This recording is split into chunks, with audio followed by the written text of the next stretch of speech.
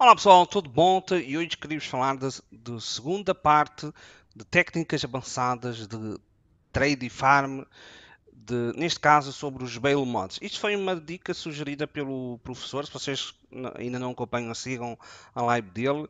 Ele, hoje, na live dele, ele falou-me sobre isto e realmente já é algo que existe há muito tempo, mas eu nunca tinha lembrado em realmente o, tirar partido desta mecânica. Que é esta profecia que vocês estão a ver aqui uh, de Calanda Craft, diz que quando vocês matam, matam um monstro, ele, ele dropa 4 itens idênticos raros. Porquê que isso é tão poderoso? Porque esta mecânica funciona com os membros do sindicato. Então, quando vocês uh, matam o membro do sindicato e depois vão falar com ele, ele só dropa o loot depois de vocês falarem.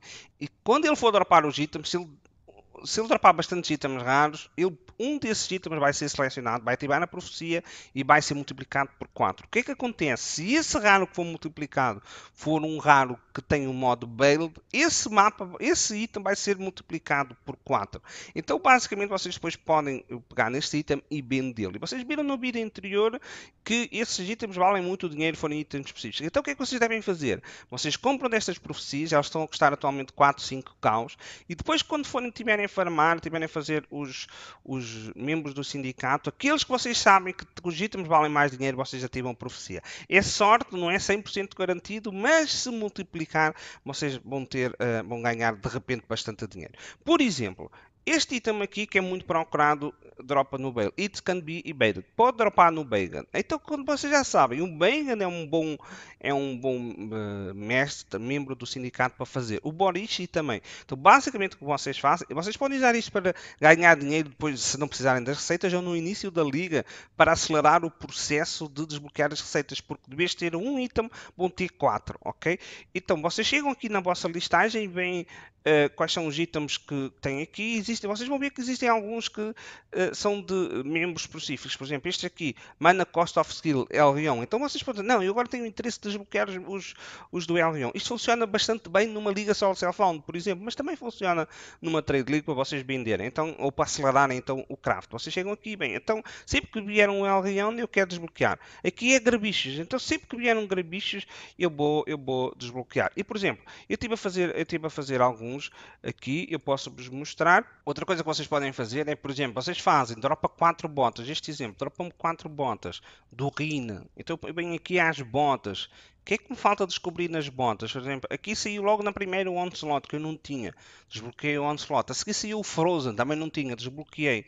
Ok? Depois continuou a subir o Frozen, fui desbloqueando os tiles. Depois a última, a última já não precisava. Então, o que eu devia ter feito era chegar aqui, clicar nas botas e ver, ok, que receitas é que me faltam nas botas? Vale a pena eu continuar a tentar desbloquear ou vale a pena já já vendê-los. Portanto, vocês podem ver aqui na, nas receitas das botas, eu tenho uma da profecia, tenho da profecia, tenho aqui de, da Delb, tenho aqui uma de, esta aqui, Immune to Alignments, é, é nas botas, é Unveil, Movement Speed Unveil, e Onslaught During Some Probation é nas botas e nas luvas. Portanto, eu ainda tenho três aqui que eh, eu posso desbloquear usando botas. Então, provavelmente valeria a pena eu continuar a desbloquear, ok? Se vocês chegarem a um ponto e, e, e vocês chegarem aqui, vão nas botas, dar para quatro botas, não, já não tem nenhuma receita que vocês podem desbloquear, então nesse ponto vale a pena começar a vender, ok? É outra coisa que é importante vocês terem atenção. Então, estamos aqui numa situação que temos o Bagan e a Thor. O Bagan, vocês já sabem que dropa o It Cannot Be Evaded. Eu ativo a profecia. Vou falar com o Beiga. O Beiga dá-me aqui rank. Eu vou torná-lo prisioneiro. Penso que quando eu dou prisioneiro ele dropa mais loot. Ele ativa a profecia. E tem aqui 4 quivers, ok?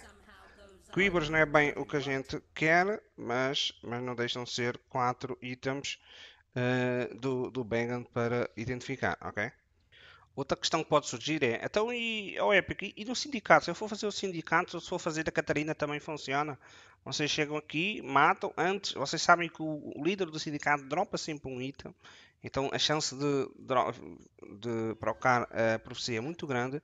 Vocês chegam aqui, depois de matar e fazem interrogar, vocês já sabem que ele vai uh, dropar um item, ele ativa a profecia e, e puma, tem aqui quatro itens específicos deste deste uh, mestre. Pessoal, espero que tenha ajudado. Usem esta, usem esta mecânica, usem isto quando vocês, sempre que vocês forem falar com os bostos mestres do sindicato, especialmente aqueles que vocês uh, querem desbloquear alguma receita específica, ou então aqueles que vocês, na, a dada altura na liga, vocês vejam que as, os itens deles são os mais caros possíveis. Isso vai variando de liga para liga, ok? Pessoal, espero que tenha ajudado. Mais uma vez, agradecer ao professor por esta dica e já sabem, deixem esse like e acompanhem os próximos vídeos. Um grande abraço, Happy Pure e até a próxima.